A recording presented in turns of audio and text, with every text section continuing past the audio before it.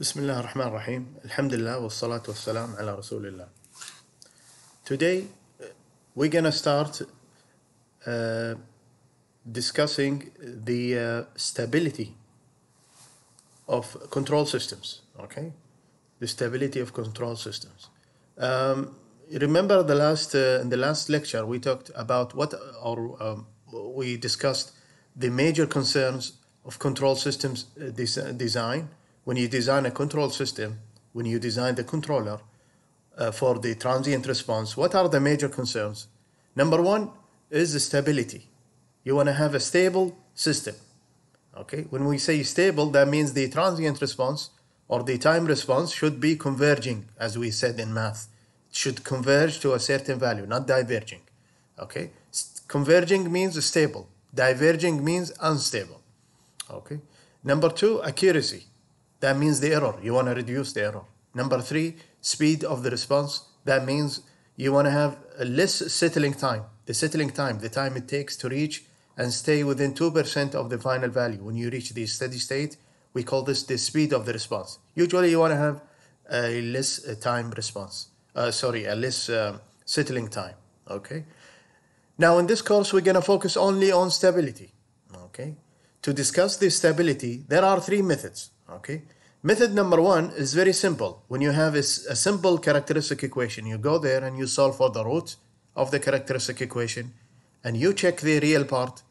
Okay. If the real part is negative you're good. If it's positive no good. Okay. That's all.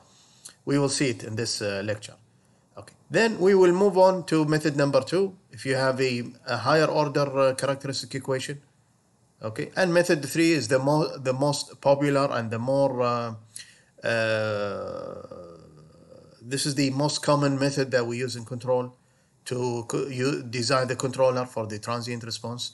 We will talk about this at the end of the chapter inshallah. Okay? So today let's start with method number one. Go directly to the characteristic equation. All right. Now what is the characteristic equation?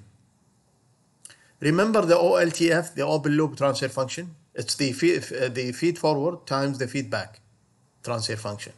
CLTF, the closed loop transfer function, it's G over 1 plus GH, the feed forward over 1 plus uh, the open loop. We call this the open loop transfer function, this one. Okay. Now, you see the CLTF? This is the equivalent block diagram, if you remember in chapter 4. The, the denominator this equation, we call it the characteristic equation. We call it the characteristic equation. If you solve the roots of the characteristic equation, you check the real part. This real part will determine the stability of the system. As simple as that. Okay? All right. All right, let's see an example. All right. Now, in this example, this is the characteristic equation. So, this is like what? this is like a uh, the transfer function of the system this is a first order system so this transfer function could be uh, similar to this one the cltf the cltf for example could be like this okay the controller over s plus a number okay a is a real number okay so the uh, characteristic equation this is the characteristic equation okay solve Okay, you have only real number, right? There is no imaginary number. This real number, is it less than or equal zero? Yes? If yes, that means the system is stable. خلاص, that's it. System is stable. Okay? If you want to solve using MATLAB, okay, or you want to sketch it, this is first order system. You check the uh, initial value and the final value. You will see that you will have a uh, exponential, decaying exponential. What does it mean, decaying exponential? Is it going to a certain value, converging, Or is it going to infinity, diverging? It's going to a certain value, right? Certain value and stay within there, right? So what does that that means? It's stable. So the good thing, without the drawing, okay, okay, just check the real part. Is your real part uh, negative? If it's negative, that means the system is stable. Even if it's zero, it's gonna be stable. Okay, as simple as that. All right. This is what now. This is the big picture. You see here. This is J omega. This is the imaginary part. This is the real part. Okay, this is the real part. Okay, the real part. This is the imaginary part. Imaginary part, sorry. Imaginary part. Okay. So this is the real axis, this is the imaginary axis. These points are what? These points are the roots of the characteristic equation for different systems. These points are the roots for the characteristic equation of different system. Let me use the laser pointer, maybe you can see it better. See these roots? These are the roots of, diff- the, of the characteristic equation of different systems. Okay. All right.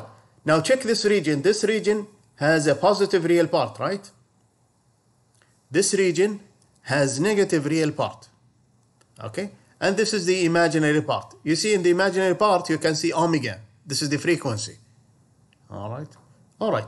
Check this example for, uh, for this system. Okay. How much the uh, real part? Is it negative or positive? It's negative. Okay.